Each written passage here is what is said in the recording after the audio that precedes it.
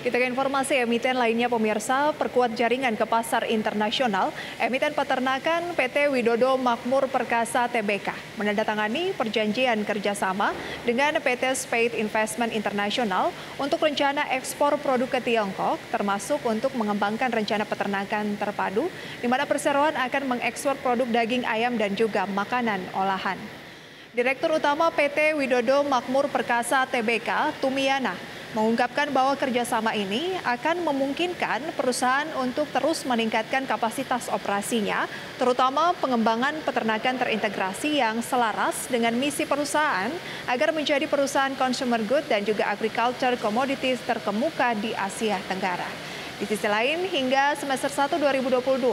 emiten yang berkode saham WMPP ini telah memperoleh pendapatan lebih dari 2 triliun rupiah